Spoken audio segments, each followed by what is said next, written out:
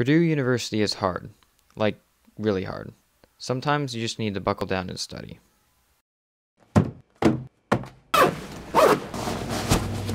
And my favorite place to do that is the brand new.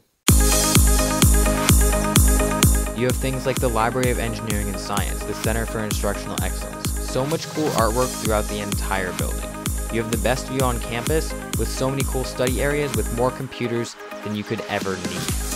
Most importantly for college students, you have food.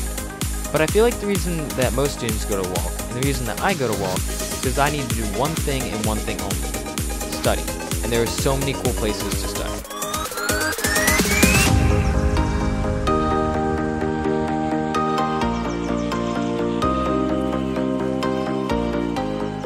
They even have collaborative areas where you can work on group projects or study with your friends. Anyway, the very best part of WALC, in my opinion, is the fact that you can study in complete and utter